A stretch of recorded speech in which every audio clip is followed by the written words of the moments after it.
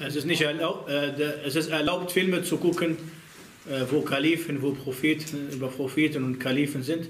Es ist nicht erlaubt, Propheten und Kalifen und diese Menschen darzustellen. Das ist, was ich sagen kann. Es ist nicht erlaubt, diese Leute, diese Menschen darzustellen.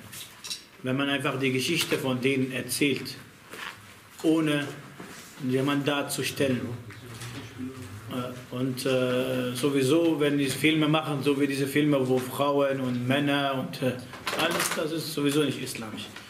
Ja, aber wenn man jetzt äh, Geschichten einfach erzählt, äh, indirekt oder äh, lehren, dann ist inshallah ta'ala gut. Aber Filme darzustellen und äh, Propheten darzustellen, Gefährten von Propheten darzustellen, eigentlich überhaupt auch äh, fromme Leute, auch egal, allgemein darzustellen, dann bleibt hängen diese Person, als ob er das, bleibt dieses Bild hängen.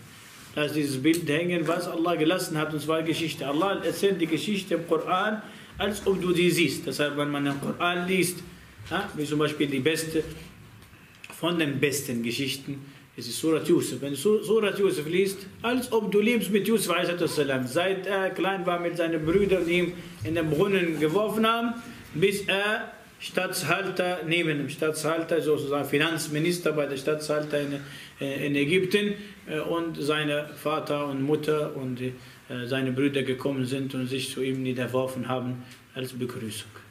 So schön, dann hört, ohne darzustellen.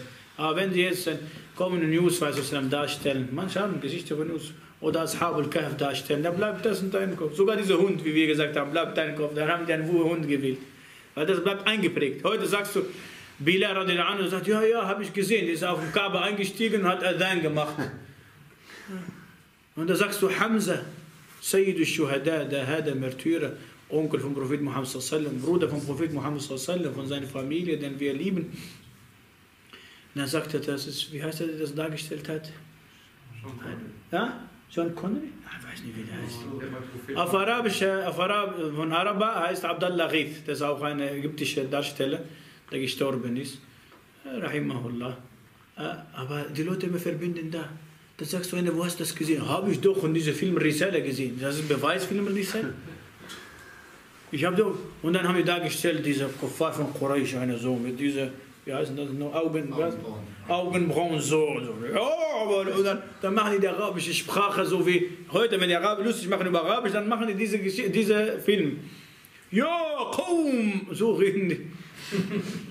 Was ist das, Subhan? Und das ist geblieben bei den Menschen so, bleibt eingeprägt.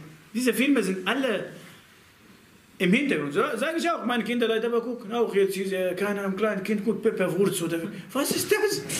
Ich sag, du, du, sag du, meine Tochter, sage ich auch, auch Hela vielleicht guckt oder sagt, du guckst das, dann wirst du auch Charakter von Schwein haben, tut mir leid. Du wirst diesen Charakter haben, automatisch. Du siehst diese kleine Tochter, du kommst nach Hause, ja, was ist das? Das ist eine große, mediale Sachen, glaub mir, das ist ein Hintergrund dessen. Wenn man älter wird, dann merkt man, oh, guck mal, das ist wirklich Botschaften.